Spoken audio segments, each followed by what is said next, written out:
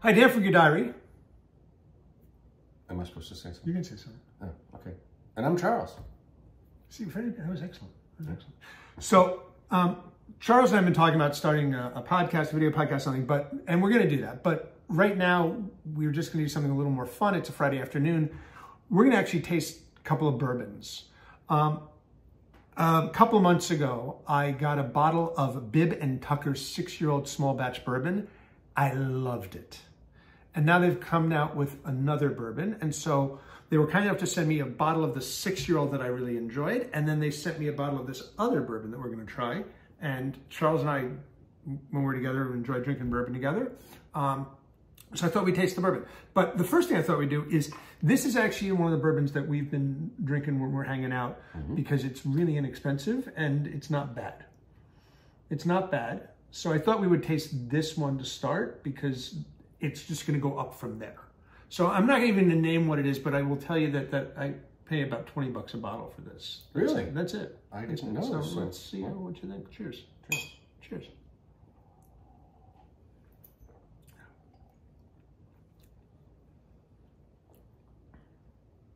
What do you think? It's not bad. It's perfectly lovely. It's little sharp, little sharp mm -hmm. initially, little softer, smoother finish, but it's a little sharp. Doesn't have a lot of complexity to it though. No. No, but the finish isn't bad. It has a nice... But it's a little harsh at first, like right in the middle of my tongue. Yeah. Right after drink, it's a little bit harsh. But, I mean, it's drinkable. Um, yeah. And I'm glad you like it because you've been drinking a lot of it in my house. I just didn't want to say so, anything, you know. So this is the Bib and Tucker six-year small batch bourbon. It's 92 proof. The first thing is, and I commented on when I put in the gift guide, look at that bottle. Isn't that pretty? Yeah. Like old world, cork in the top. I love that. And I it looks that. very dark here, but in the pictures, it when it's backlit, it has a nice reddish hue to it. Yeah, uh, and feel how hefty that is. And it's, it's a pretty, yeah. pretty serious. so nice. here's how it describes the bourbon. It's aged for six years vanilla, pecan, and chestnut. Okay. They describe the taste as vanilla, pecan, and chestnut as well. And the finish is vanilla, pecan, and chestnut. So I think you're supposed um, to be reading this. One. Oh, I see. Okay, so rinse the glasses and we'll try them. It fulfills the promise of its nose before evolving into a warm, rich, spicy sensation and leaves the drinker with a complex yet balanced and long-lasting signature. Oh, I can't read the rest of it. You oh, I'm sorry. Go ahead. Signature of uh, uh, chestnut finish. Okay. All right. So All right. this is a Bib and Tucker. It's uh, we're going to get the pricing in a minute, but I think it's running about 45, 49, something like that. It's under 50 bucks. It's not not bad. And this is and this is six year old. You said this is six year old small batch. Um, oh, we want some water. Yes. There's yours. Oh, I'm sorry. We're going to heavily edit this, or we won't. We may not. Let's find out. We'll All find right. out how lazy we are. Or so how, how good we are on camera. How good we are on camera. So this is the six-year Bib and Tucker. Cheers. Cheers.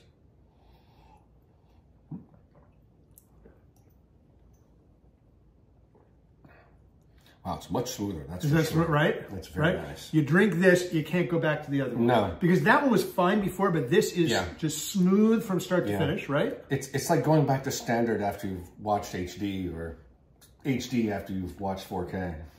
Or like going back to like um, um, boxes of wine after you've tasted a really good $150 bottle of Cabernet. I, I never go for boxes of wine. So. I don't either, but I just am assuming. So this is pretty good, right? This is very nice. Right? This is, um, let's get a price on this. Now, do you always drink it neat? I always drink it neat. You don't drink it neat?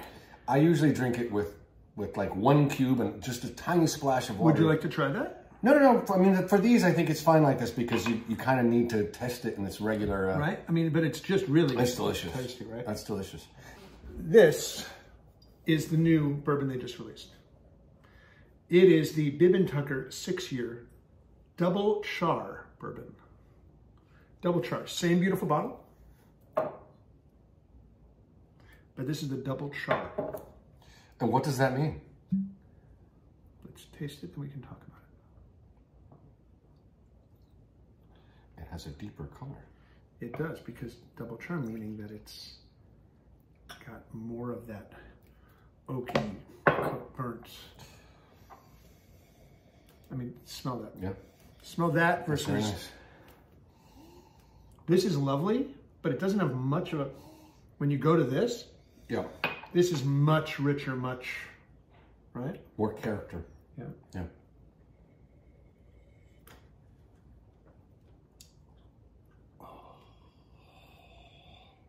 That's lovely. I mean, this is really good.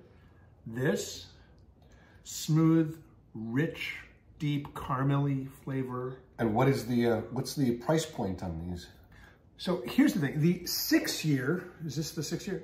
The six year is running about $47, which is not terrible. Bourbons have gone up in price, No, right? That's not terrible. The 10 year regular is running about $85. dollars This double char, what do you think this double char would cost? It's a six year, but it's double char. Mm, I think it's going to be somewhere in between there. Probably a little little less than sixty dollars, maybe. 55 bucks. There you go. That's a that's a good price for that. 55 bucks. I would definitely pay fifty five dollars for that. So let's take a look at, at what they're saying about this bourbon. Inspired by turn of the century when food was cooked over an open flame, this new bourbon is aged twice to create savory, smoky notes and exceptionally smooth finish. I think they achieved that. Oh, Bib and Tucker Double Char is first aged for six years in the rolling hills of Tennessee in New White Oak. Road trip. yes. Road trip. Yeah. Who wants to watch us do a road trip and film it? I don't care about what your answer is. I want to. All right. So the double oak, so it's followed by five months in a second heavily charged and smoked new barrel. So it's aged for six mm-hmm. years. So it's aged for six years, just like this one. Mm-hmm. And then they take it and they put this bourbon in a cask that's been heavily, heavily charred mm-hmm. for five months.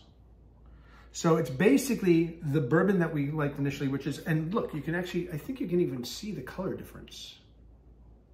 Yeah. I think you can. So that's delicious still.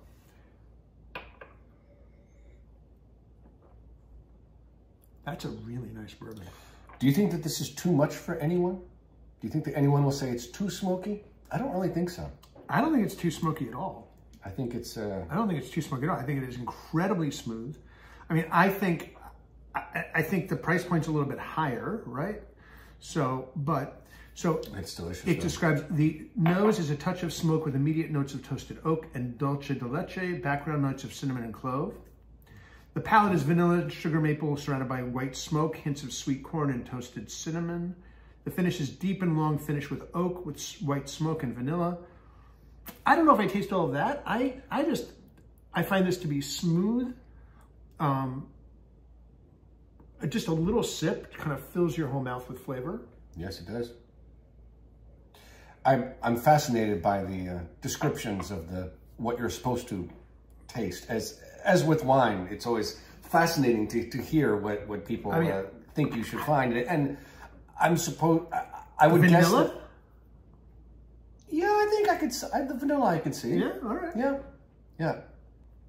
So I want to try something before we go on. Yes. Um, I put a little bit of that first bourbon back into these shot glasses because I didn't have more glasses available. The bourbon whose Having- name shall not be mentioned. Yeah, but it's 19 bucks a bottle. And now you're going to go, why are you serving me the crap? No, no, no. I, I see why. So- Because you want to see now that you've had something better. So I want to taste up still? this, cleanse palates, and see if like this is still feels drinkable. I'm gonna cleanse my palate. after having the Bib and Tucker, which, by the way, it's, it's really become one of my favorite brands of bourbon. Right, I I, love, I think it's delicious. Even even the six year not double char, but the double char is just so good. Now, do you know? Have they been around for a while? I don't know that. I I've don't know their I don't, know, that their I've seen them. I don't know their history. I don't think their distribution up here is is tremendous, but I've seen Mm-hmm. it in a couple places. But I've asked in a couple of other liquor stores and they don't have it.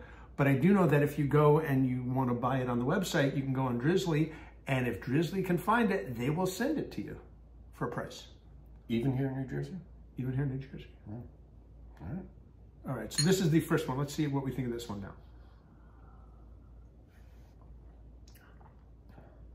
I could do without that now. It does seem inferior. Right? I could do without It's that. It's still drinkable, but but it's not this, that's for sure. Right. So there's that one.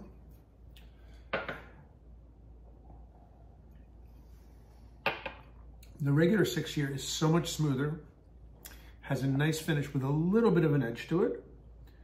Um, it's a little bit caramely, but not overly so. I do actually taste the vanilla in this one. Yeah. It's it's noticeably smoother and has more body. From the very first sip to the sort of body of it to the finish, very nice. It's kind of like an, this sort of like an arc to it, whereas the the the inexpensive one, Some are much it's like- flatter. it's like initial taste, middle taste, Yeah. sharp ending. Yeah, and, and that that's the same same thing I'll, I'll say about uh, about other bourbons I've tasted too. Some of them are good parts of the way, and then you're like, mm, but the ending is bad, Right. or oh, the middle seems awfully flat, where it should feel more robust. And uh, anyway, But neither the Bib and Tuckers, I think, do that. Next thing we're going to do is we're going to try the 10 and the 12s, but but let's go back to this one, which is... we have ten and twelves. no, we're going to. We're going to buy them, and we're going to drink them, Ah. because this is what we do. I like what we do. There you go.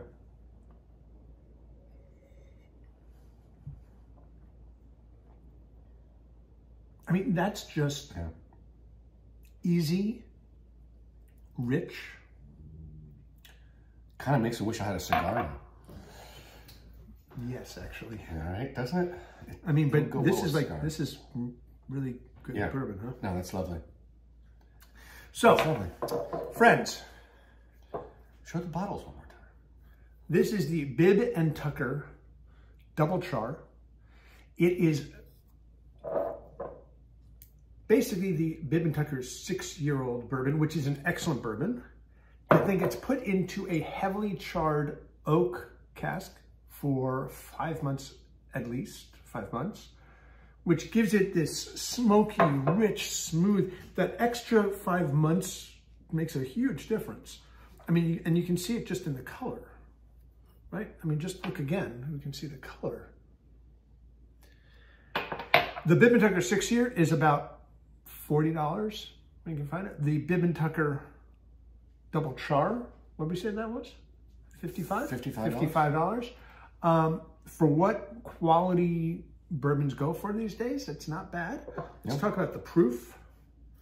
Um, the Bib and Tucker, it's in, this is interesting actually. The Bib and Tucker six year is 92 proof. Oh, that's really strong. What do you think the double char would be? If the Bib and Tucker is, Does it? I, I- you know, I'm not familiar. It doesn't really change the proof to age it more, does it? It But just it makes does. it. It does. it brings it down to 88 proof. It brings it down. It brings it down to 88 proof, which is, I don't care, but it's an interesting thing that by having that additional layer of process, it alters the the proof of the beverage. Smoothens costs. It's the devil's cut. that's what it is. It's the devil's cut. That's right. This is Dan from Gear Diary. And Charles. Thanks for watching.